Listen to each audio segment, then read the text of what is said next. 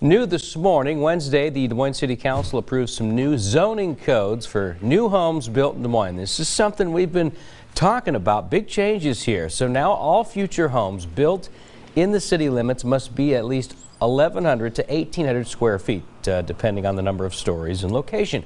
It also requires a single vehicle garage or shed. The council approved the zoning code in a vote of six to one. The new ordinance will go into effect December the 16th. Stay with us as uh, any amendments are made to this ordinance.